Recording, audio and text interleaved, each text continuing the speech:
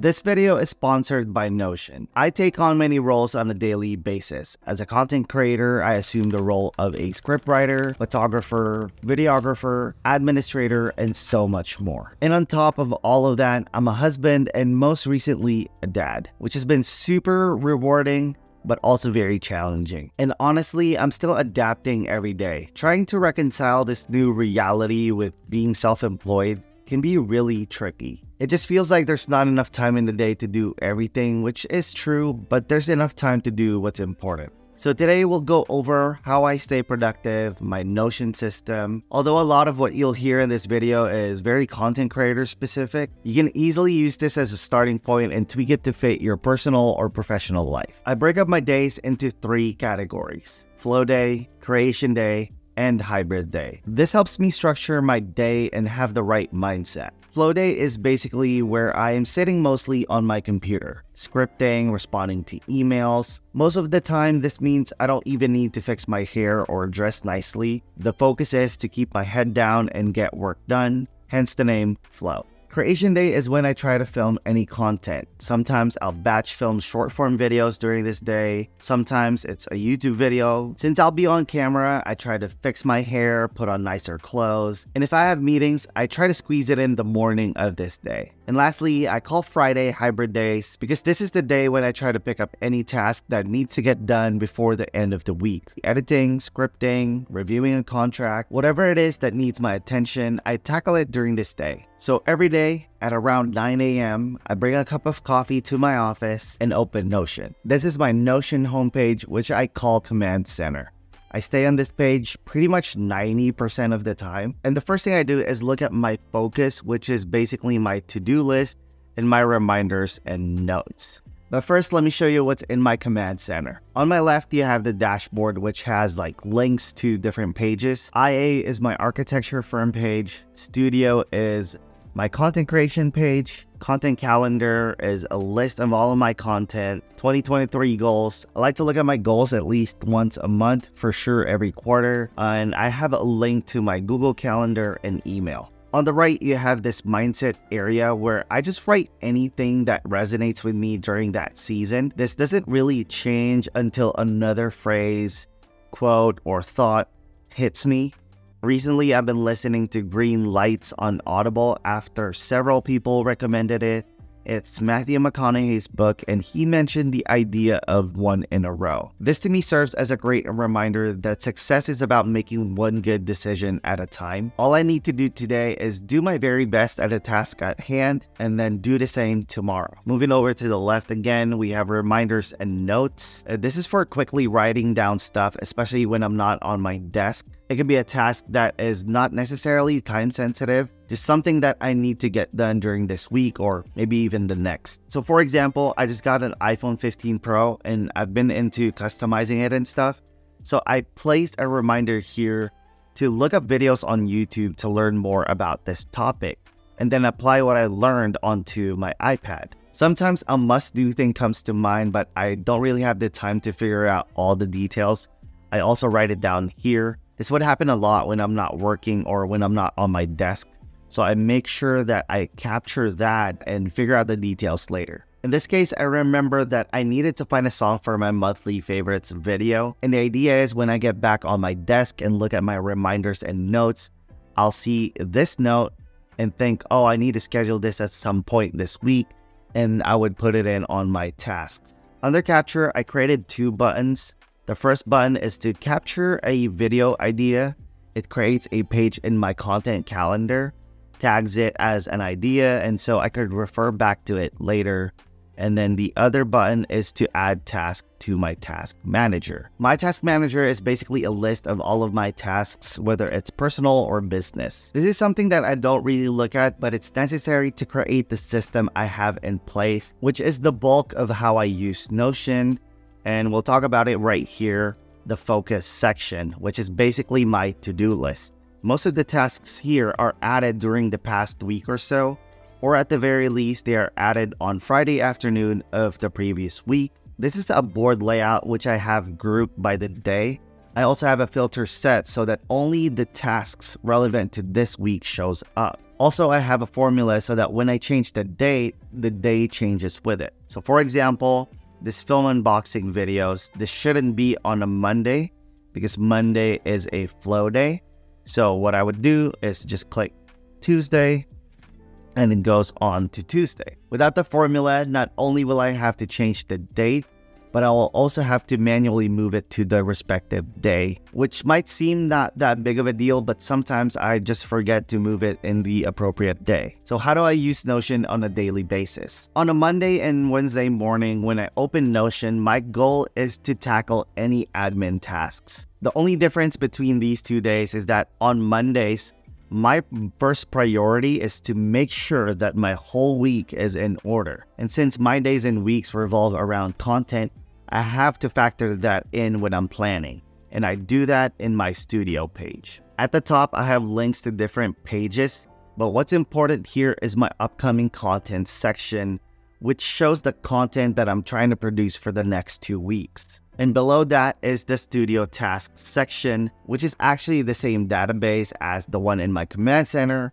which is my task manager. It just looks different because I have it set to a calendar layout as opposed to a board layout because I find it more helpful for planning because I can look at prior weeks and also upcoming weeks. So on Monday morning, what I would do is look at my upcoming content and think of the different tasks that I need to do in order to finish that video. So let's take this video for example. Ugmonk daily versus weekly. I know I'm not going to be talking in this video and so all I need to do really is to create a shot list and so I want to do that on Monday create shot list. And then I could add that video under this video list relation just to remind myself of what I'm creating the shot list for. And so when it's time to actually do the task, I can just click on the card and see the video I'm creating the shot list for.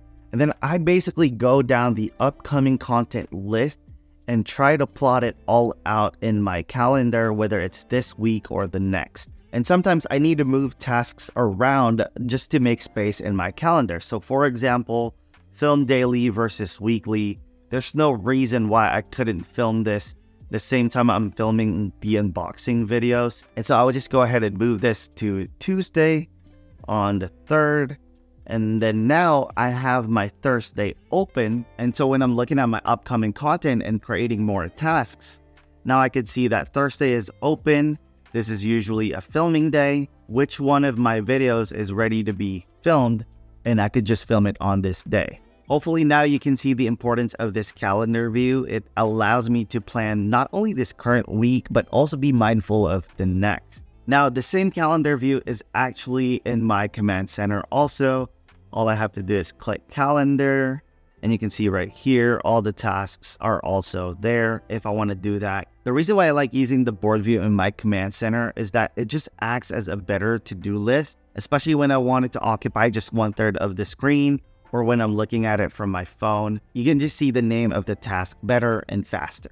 After that, I check my emails and I try to achieve inbox zero. While addressing my emails, it's pretty common for me to find more tasks for the week. A lot of times, I'll get asked about my availability for a collaboration, make slight edits to a video, send an invoice, and so on and so forth. So I leave Notion up so I can refer to it whenever necessary. At around 11 a.m., I try to switch my brain from admin to a more creative work. Scripting, editing photos or videos, writing a caption, looking for music. I'm basically in and out of pages in Notion, checking things off my to-do list while taking note of anything that comes up. I try to take an hour break in the middle of my day, and when I get back at my desk, I try to chip away at my reminders if necessary. So let's pretend that I just got back from lunch. So I look at my reminders and notes.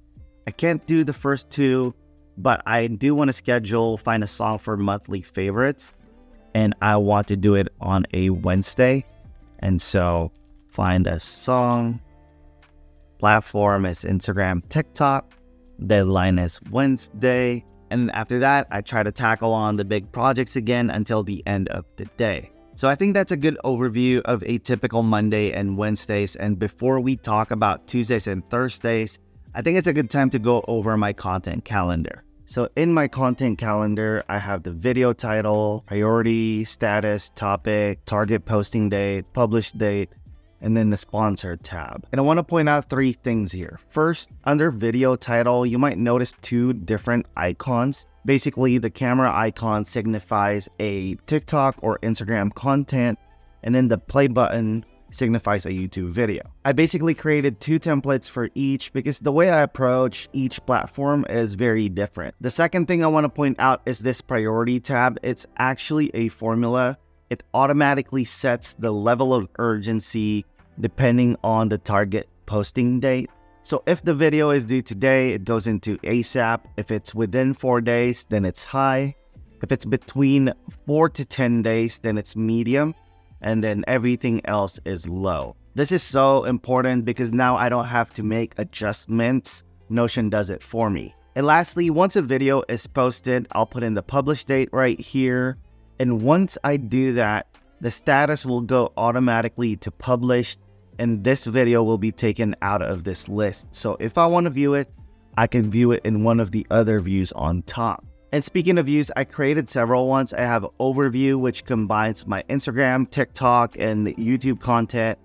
Split view, which splits the two up. Calendar or published dates. This is where I could look back on some of the videos I posted. And then list view, basically the same thing, but in the list form. My most recent video is on top. And ideas list, which if you remember, I have that new idea button in my command center. Basically, once you click that, a page is created and then it is tagged appropriately and it goes into this ideas list. So for Tuesdays and Thursdays, this is the page I'm mostly on, specifically the page of the video I'm working on, reading my script, looking at my shot list, whatever the case may be. I just love scripting on Notion because of the AI features that's built in. I like using it when I have a mental block, or sometimes I just need it to say something in a better way. It's such a powerful tool that helps me a lot when writing. On Fridays, which are the hybrid days, there are two tasks that are reoccurring. First, I typically post my YouTube videos on Fridays. So if I have a post that day, then I dedicate the first hour of my work